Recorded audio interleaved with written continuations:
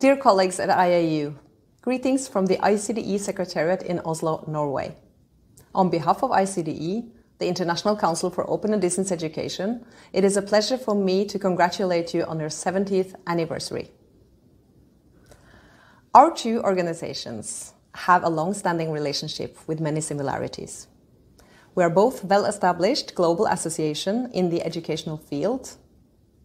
We both have members in all world regions, providers of higher education, and we have we disseminate knowledge and facilitate best practices and collaboration across borders and continents. On the occasion of IAU's anniversary, I have been challenged to say a few words about the future of higher education. My key points would be, first, that higher education is and still will be pivotal for sustainable development and sustainable societies.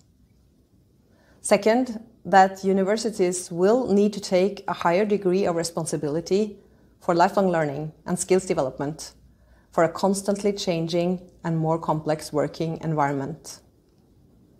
And third, that technology drives our learning and working contexts towards more digitalization and automatization, and therefore educational provision necessarily will come in more blended and online formats. From ICDE, we look forward to continuing working with IAU to promote and facilitate inclusive and accessible higher education and lifelong learning through appropriate use of various technologies and learning modes.